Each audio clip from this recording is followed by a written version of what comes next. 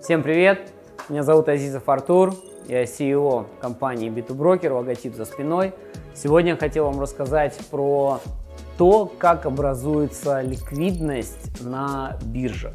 И в частности, я бы хотел рассмотреть э, криптовалютные биржи, да, потому что это такой сегмент быстро растущий и самое большое количество новых запущенных бирж непосредственно в криптоиндустрии. Поэтому сегодня мы поговорим именно про запуск криптобиржи и то, как э, вам, как, например, владельцу этой биржи, организовать ликвидность, то есть какие способы, какие варианты э, ликвидности или создания ликвидности да, на вашей бирже у вас есть. А для пользователей биржи, для тех, кто торгует на бирже, ну, как минимум для того, чтобы вы понимали, как вообще э, работает биржа, э, на которой вы торгуете или через которую вы инвестируете э, в крипто. Собственно, первое, как бы, начнем с того, что, что такое вообще биржа и чем она отличается от э, типа торговых платформ, такие как брокерские платформы.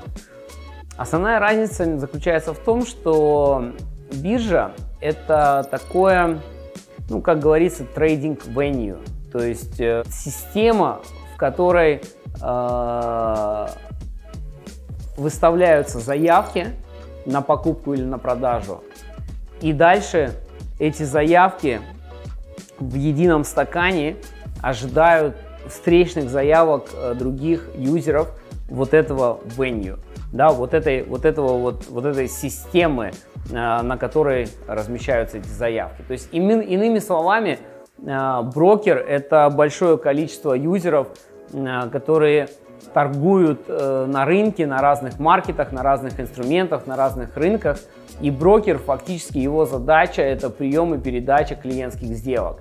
Мы сейчас не будем вдаваться в подробности внутренней кухни как бы брокеров, но суть в том, что есть организованные площадки, биржи, либо есть, например, OTC рынки, такие как там Форекс, либо э, CFD инструменты, где поставщики ликвидности или маркетмейкеры, стоящие за этими поставщиками ликвидности, или какие-то как раз таки вот эти трейдинг venue, маркетмейкеры или поставщики ликвидности фактически создают эту ликвидность, э, передают ее брокерам. И вот брокеры дальше э, эту ликвидность непосредственно уже распространяют среди юзеров, да, среди э, конечных трейдеров, для того, чтобы те имели возможность покупать, продавать по лучшим ценам. Так вот, это брокер, то есть это прием и передача заявок. Брокер – это посредник между биржей или таким э, источником ликвидности, либо некоторые брокеры агрегируют на один и тот же инструмент, если мы говорим про OTC рынки, когда конкретный инструмент не торгуется на какой-то определенном определенной централизованной площадке. Он э, глобальный, он э, создается маркетмейкерами и нету единой входящей точки да, этого инструмента, в отличие от э, инструментов, которые торгуются исключительно на централизованных биржах. Так вот, брокер это посредник, неважно при каком варианте, э, между централизованной биржей и клиентом, потому что так как клиент или трейдер, да, конечно, он не может торговать напрямую на бирже, если мы говорим про централизованные регулируемые как бы, площадки. И либо, если это даже OTC рынки, то здесь э, брокер фактически создает ценность для клиента, то что помимо приема передачи заявки, он совершает еще огромное количество других операций, это все юридические, э, финансовые моменты, моменты безопасности, моменты агрегации ликвидности, моменты э, user-friendly возможности да, вывести деньги, завести деньги, бэк-офисы, аналитика и так далее, так далее, так далее. То есть очень много техническая поддержка, то есть очень много совокупность таких факторов и позволяет брокерам быть вот этими вот посредниками. Соответственно, если мы возвращаемся назад к нашему топику, то биржа это не брокер. Биржа это то место, где эмитенты размещают свои, назовем их, активы. То есть это под словом активы это могут быть и какие-то equity, акции, какие-то специфические инструменты, да, потому что на сегодняшний день появляется достаточно много бирж, которые узконаправленные, например, там не знаю, мы там торгуем образно там только сахаром или только золотом, да, то есть или там поставочным золотом. Ну, то есть есть много разных таких э, централь... узконаправленных централизованных бирж, которые непосредственно э, занимаются тем, что э, организуют организованные вот эти вот торговые площадки э, среди участников этой биржи, участники, соответственно, тоже специфичные, да, иногда даже это бывают такие какие-то экспортеры, импортеры, которым это необходимо. Так вот, а, возвращаясь э, к теме бирж, как создать, если вы запустили биржу, как вам создать ликвидность на этой бирже? У вас основных три варианта. Вариант первый – это органическая торговля. Органическая торговля или органическая ликвидность э, фактически подразумевает что вы залистили какой-то актив.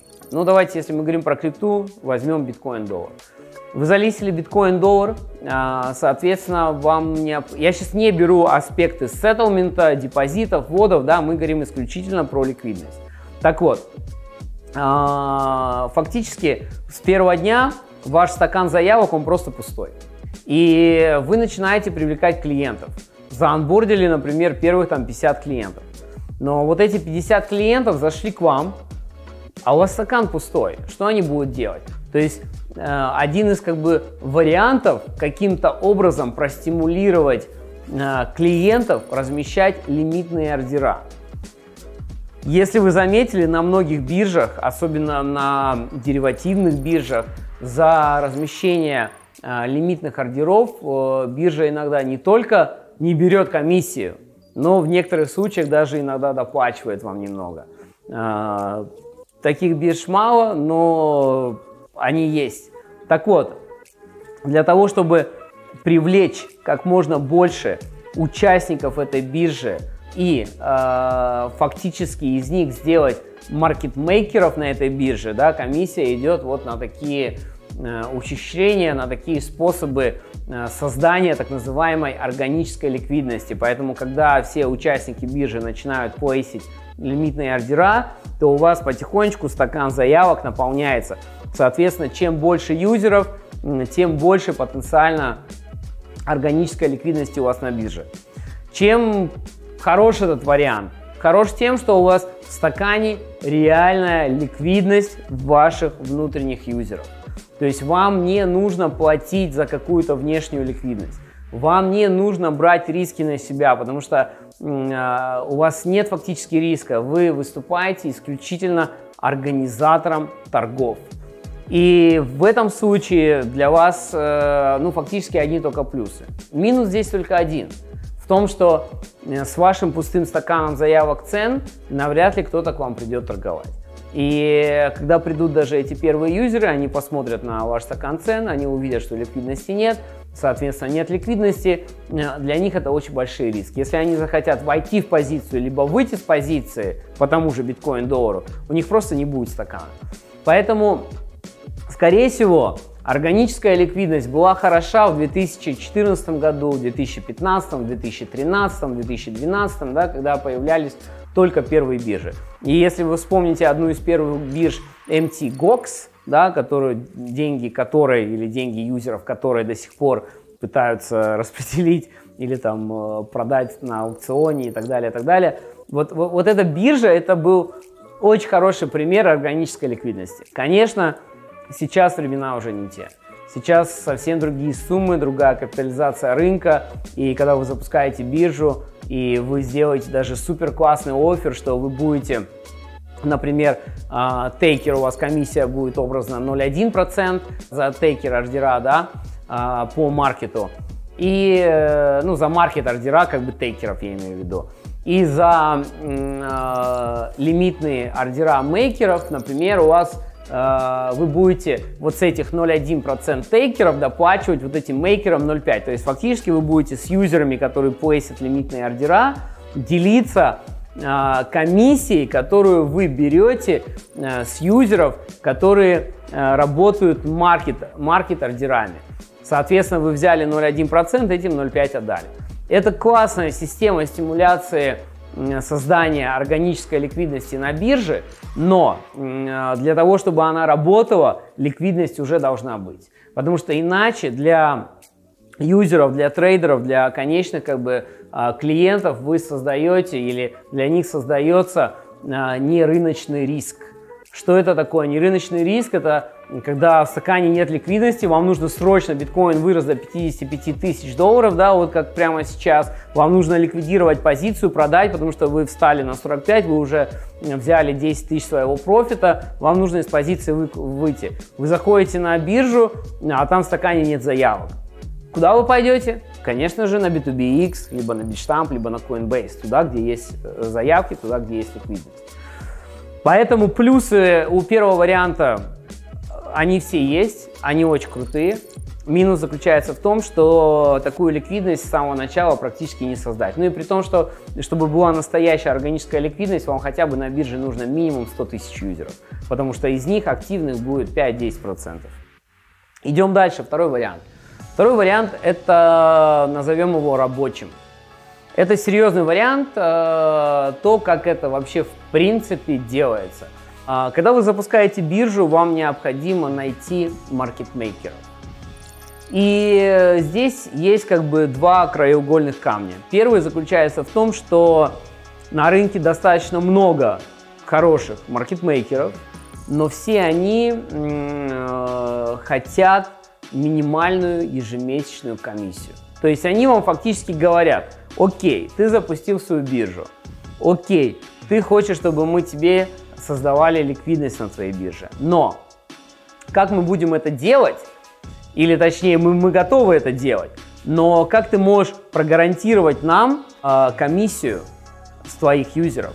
Потому что у тебя фактически сейчас нет юзеров, то есть мы будем создавать ликвидность для того, чтобы эти юзеры пришли, но мы хотим иметь ежемесячную минимальную комиссию за каждый маркет потому что мы, будем, мы включим свои системы, мы включим свои алгоритмы хеджирования, мы включим свои э, параметры этих алгоритмов, мы спросим у тебя, какой ты хочешь держать спред, если ты хочешь быть супер компетитив, да, лучше, чем другие биржи, соответственно, это больше риск, больше коэффициент, нам нужно улучшать свои алгоритмы, нам нужно больше на себя риска брать, соответственно, и цена за обслуживание будет больше. Так вот, здесь э, получается такие кошки-мышки. То есть тебе, чтобы привлечь хороших маркетмейкеров и договориться с ними на хорошие условия, нужна большая, э, больш, большое количество клиентов, большая датабейс.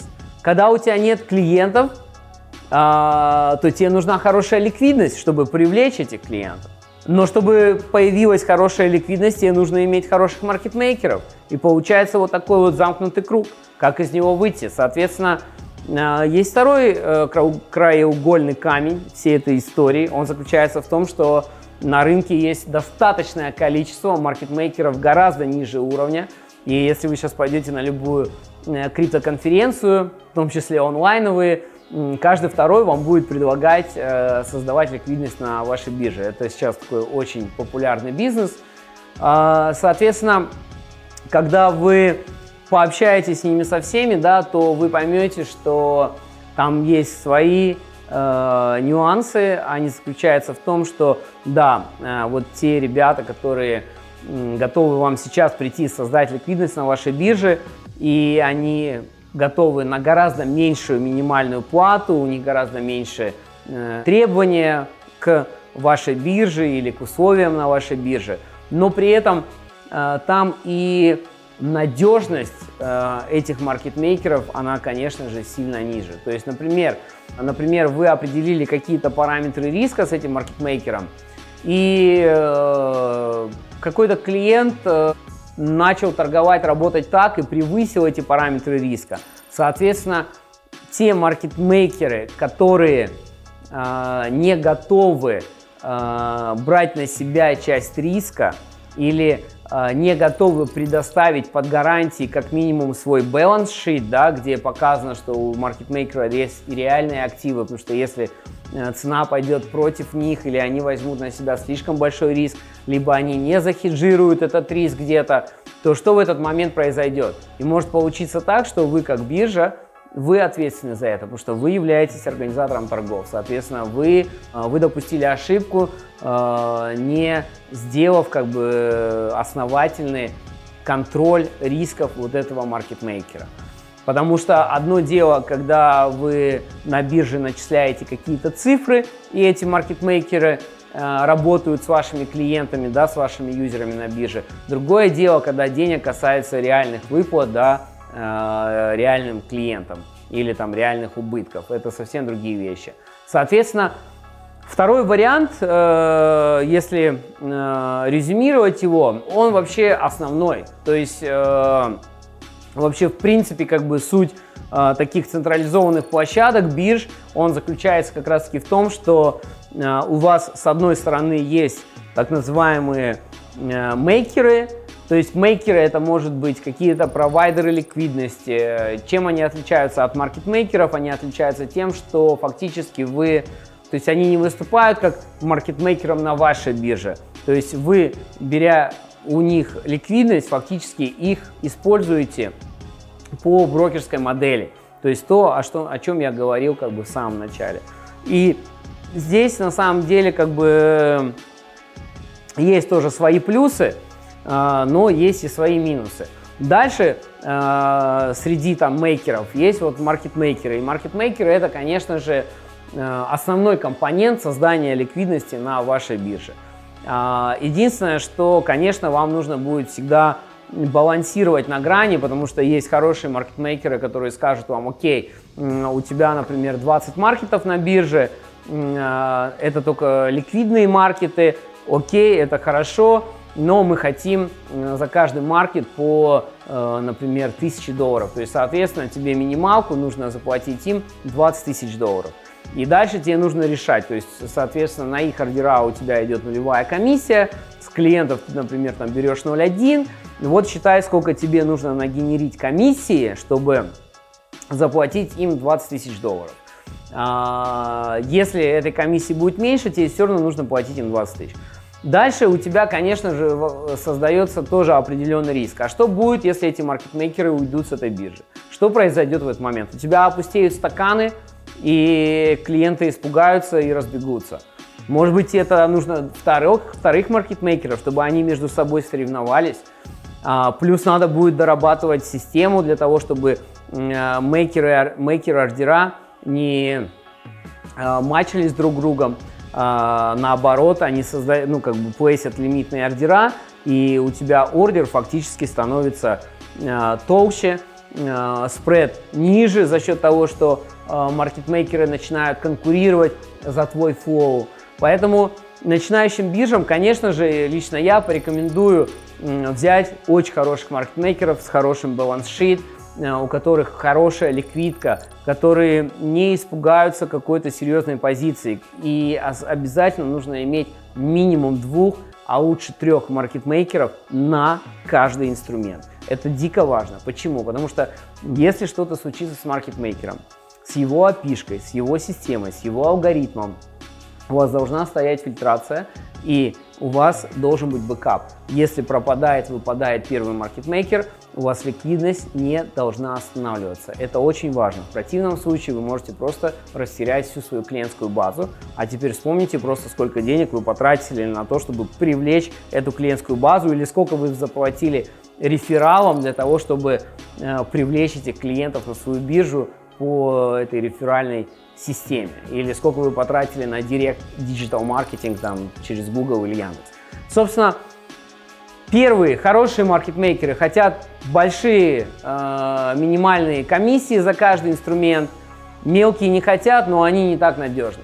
Второй как бы нюанс работы с маркетмейкерами заключается в том, что далеко не все из них готовы принести свои деньги на вашу биржу и поставить коллатор депозит, например, миллион долларов, и в рамках него э, работать. И дальше, исходя из уже э, PNL по этому балансу, да, уже, уже как бы делать settlement. То есть, если они заработали, вы там часть им сетлите, если потеряли, там, они вам там как-то часть сетлят, да, то есть, ну, там в зависимости от условий. Иногда это как бы происходит вообще не по профит-шерингу, да, с маркетмейкерами вы работаете, а просто вы им даете свою биржу как venue, и они сами кладут депозит, сами работают с вашими клиентами. Но такое происходит только когда, если вы уже достаточно хорошая биржа, и вы с маркетмейкерами работаете уже на уровне ваших клиентов. То есть для вас они уже как просто клиенты, с которым вы просто идете навстречу и даете очень хорошие условия. Они сами заносят депозит, они сами как бы э, депозитят вот этот э, коллатор, вы с ними договариваетесь на хорошую э, ребейт комиссию стейкер ордеров за их мейкер ордера, э, оговариваете коэффициент э, ликвидности, э, процент по спреду, да, это очень важно, мониторинг э, спреда, да, для того, чтобы они всегда в рамках э, нормального рынка держали спред. Понятно, что в периоды высокой волатильности спред будет раздвигаться, но это, в принципе, э, на всех рынках такая история, это нормально. Так вот, скорее всего, когда вы только начинающая биржа, все те маркетмейкеры, которые к вам придут, это будет э, из серии, когда, чувак, мы не хотим как бы класть тебе депозит, а, плати нам 5-10 тысяч долларов, а, мы не будем а, низколиквидные инструменты маркетировать, и а, все риски на тебе. А, мы держим спред в разницу 0,1% или 0,2%.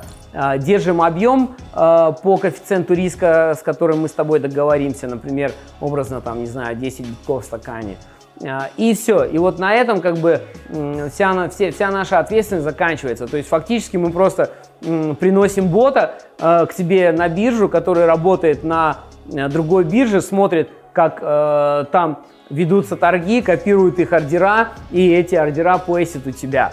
То есть это вообще сложно даже назвать маркетмейкингом. Просто ребята, которые написали своего какого-то бота на вашу опишку, который копирует ордера как бы э, того, что происходит там, не знаю, на каких-то более-менее известных биржах, да, или на топовых биржах, и просто пытается эмулировать рынок э, и э, не анализируя как бы экспозицию и риски по клиентским позициям на твоей бирже. Соответственно, в этом случае у биржи создается большой риск. Потому что маркетмейкер в этом случае не рискует абсолютно ничем. Он не кладет свой депозит как коллатор, он не э, работает на профит-шеринге, он просто берет всегда комиссию, да, то есть у него он не заинтересован в успехе клиентов, потому что когда это серьезный маркетмейкер, он берет, э, ты с ним делишься комиссией, он кладет свой коллатор или хотя бы минимальную часть 50% коллатора, и по balance sheet вы рассчитываете как бы P&L по его маркетмейкер аккаунту, э, например, там раз в три дня или там раз в неделю, да, как бы происходит сеттлмент взаимный, либо он вам, либо вы ему. Это очень важно понимать, ребят, при работе с маркетмейкерами. Наверняка, если вы запустили только свою биржу или планируете запустить, очень много нюансов в работе с маркетмейкерами, поэтому будьте здесь предельно аккуратны и не соглашайтесь на такие условия, когда когда маркетмейкер абсолютно ничем не рискует, вы ему платите деньги, все риски на вас, и он еще и работает на ваши деньги. Да? Где, где как, как говорится, it doesn't make any sense. Это вот действительно именно так. Так, ну что, пойдемте к последнему, к нашему финальному третьему варианту. Третий вариант, э, я бы назвал его каким-то особенным, то есть его сложно назвать гибридным. Э, суть его заключается в хеджировании рисков. А, что это значит? Это значит, что вы на бирже фактически сами создаете какого-то бота, который смотрит на рынке, что там происходит, какие там ордера, а, какие э, трейды да, происходят на топовых биржах. И фактически вы сами создаете ликвидность на своей бирже. Но что происходит дальше? Дальше происходит э, то, что у вас на других биржах, э, там, где вы хеджируете свои риски, должны быть открыты э, хеджинг счета, ну, либо просто да, торговые счета, там в зависимости от того, как вы договоритесь или на каком уровне вы договариваетесь э, с вашими контрагентами. И фактически вы делаете офсет, да, то есть это Э, перенос рисков на другого контрагента.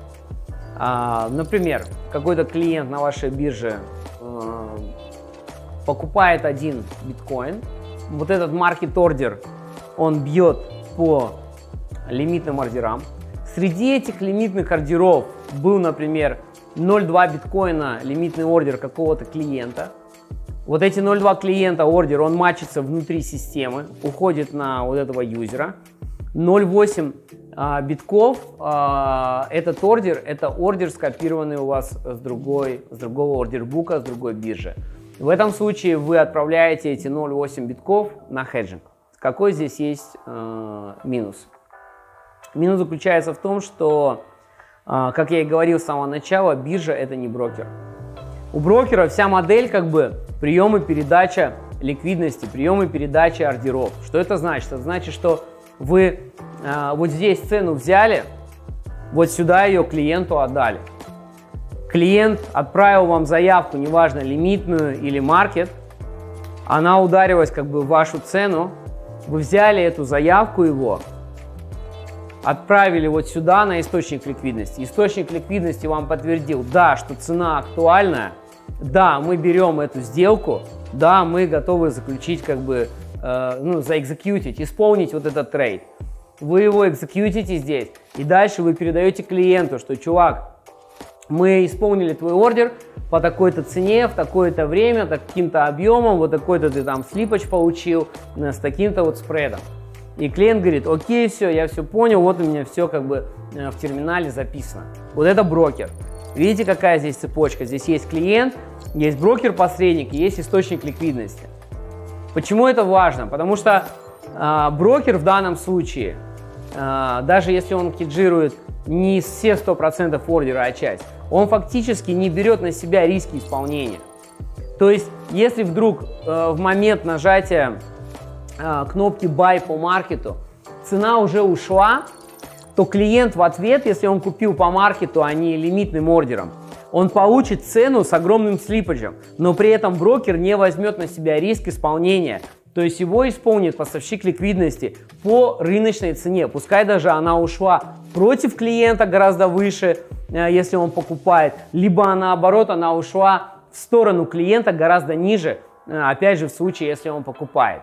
И здесь как бы э, в случае вот такой волатильности а, брокер, он является посредником. Он не берет на себя риск исполнения, он его передает на источник ликвидности.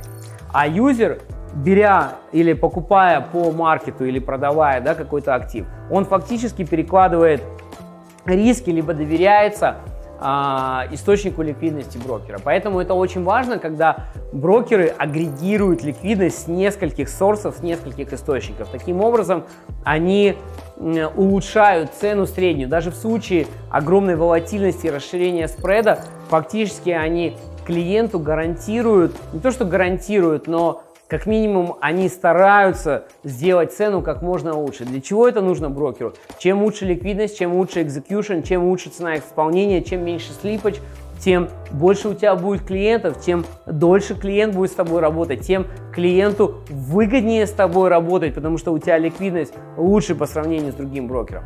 Так вот, ребят, не отходим от темы. Вот это и есть брокерская модель исполнения ордеров на рынке, то есть прием и передача э, ордеров. Теперь, если мы э, рассмотрим биржу, на бирже ордера матчатся внутри. Здесь нет как такового какого-то внешнего источника ликвидности. Здесь нет какого-то юзера, здесь нет какого-то брокера. У вас торговая платформа, она же является matching engine. То есть фактически, если мы вот возьмем российскую биржу MOEX, да, это вот такой вот большой матчинг engine. Там есть маркетмейкеры, банки, андеррайтеры. И с другой стороны есть брокеры. А у брокеров есть юзеры. И абсолютно все 100% сделок с этих брокеров идет на эту биржу. То есть брокеры выполняют э, вот все те, которые я говорил в самом начале, вышеперечисленные функции, да, фактически давая сервис клиентам. Но Ликвидность обеспечивают маркетмейкеры на этой бирже. В случае криптобирж так получилось, что э, институциональных бирж очень мало на крипторынке. И в основном все те биржи, э, которые говорят, что мы, например, биржа. Да, э, в большинстве случаев это реально биржи со своим матчинговым движком. Но фактически они замещают ритейл-брокеров. То есть единственная разница принципиальная заключается в том, что они делают весь комплекс оказания услуг клиентов, а, да, по, по таким моментам, как обслуживание клиентов, депозиты, выводы, легальная часть, финансовая часть, техническая поддержка и так далее, и так далее, юзер-интерфейсы, красивые платформы. Э, это, это, это то, чем занимается брокер. Но в данном случае это делает биржа.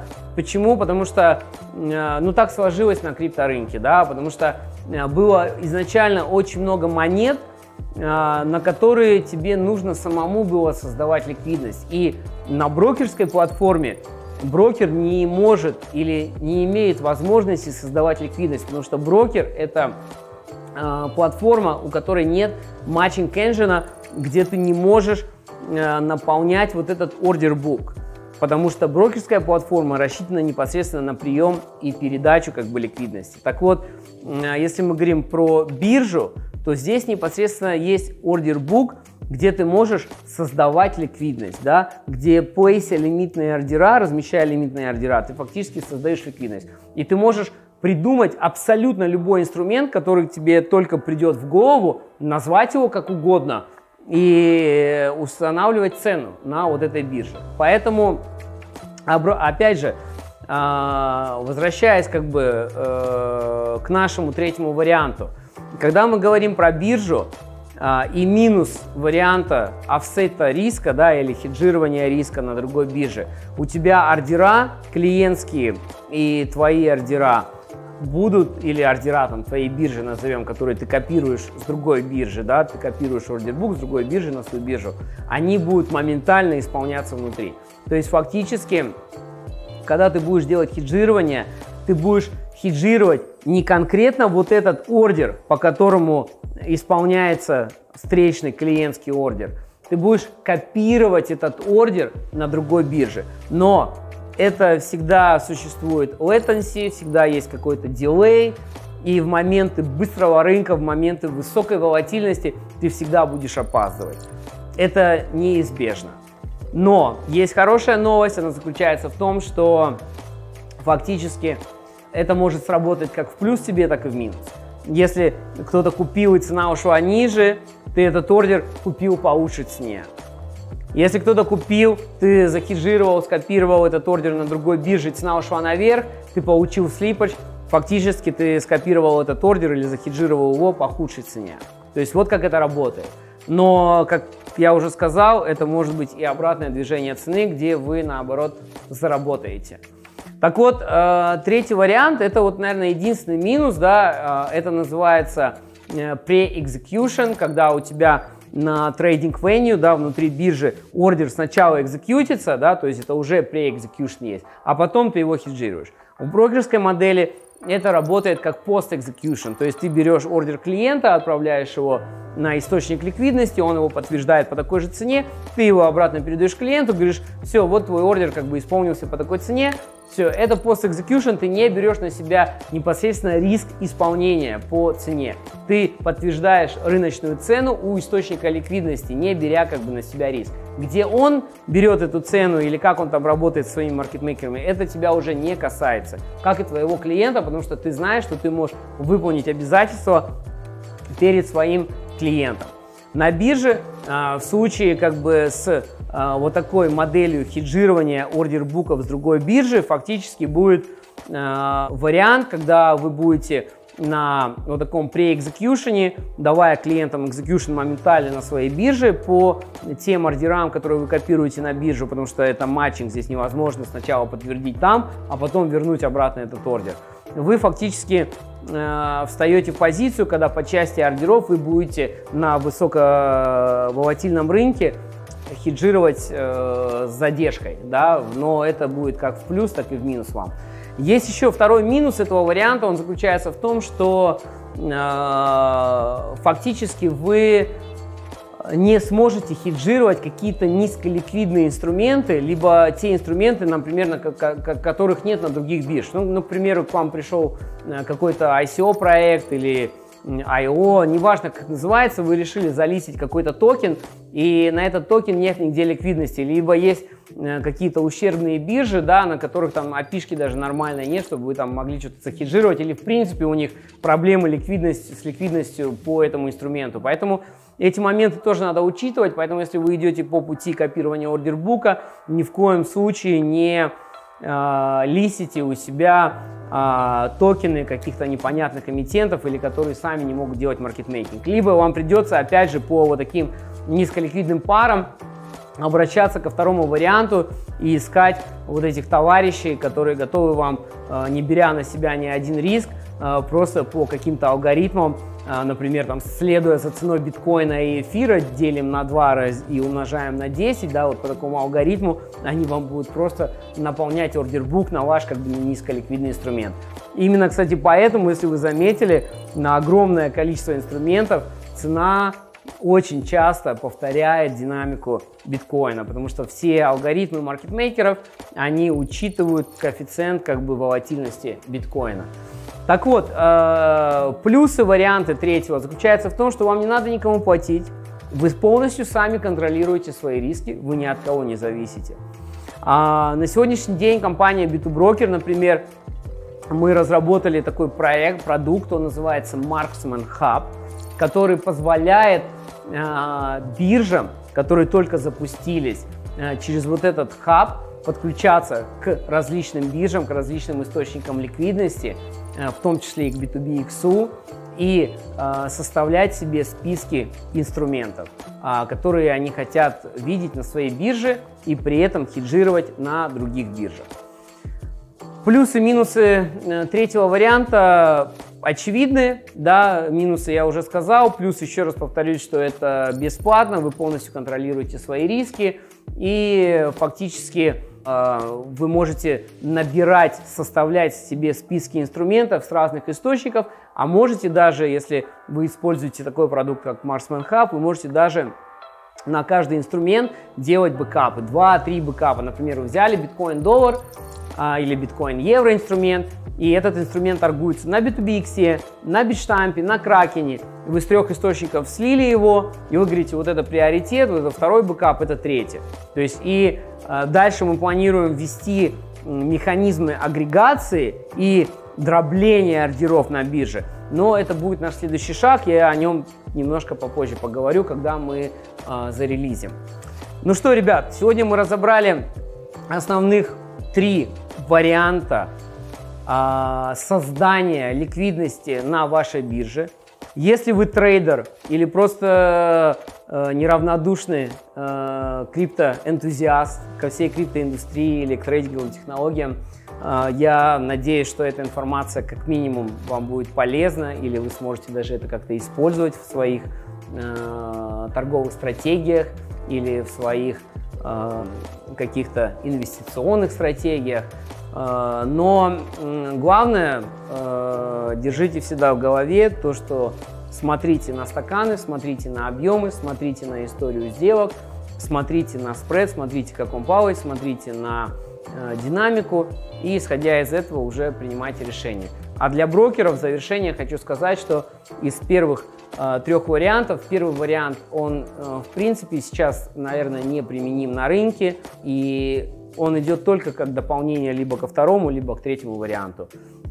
Второй вариант предпочтительный, но вы потратите огромное количество времени, чтобы найти э, правильных маркетмейкеров э, с хорошими условиями, именно похожими на партнерские, а не на то, когда плати мне деньги, я не беру риски и все. А, ну и третий вариант, это на самом деле то, с чего начиналась э, как бы брокерская индустрия и то, к чему она сейчас пришла. И э, на крипторынке я это говорил еще в 2017 году, и если тогда я уже говорил, что спотовый рынок э, потихонечку будет для спекулянтов отходить на второй план и оставаться именно для обмена, и все начнут заниматься деривативами, то Сейчас посмотрите на рынок, вот оно все так и получилось. Поэтому здесь э, мой как бы prediction, мой прогноз, то, что вот этот третий вариант э, среди бирж, он станет предпочтительный, он станет номер один. Поэтому все, ребят, всем спасибо. Будут вопросы, пишите в комментариях, заходите на наш сайт, подписывайтесь на наш канал. И очень много интересных э, экспертных вещей мы будем просвещать здесь на канале. Все, спасибо, пока.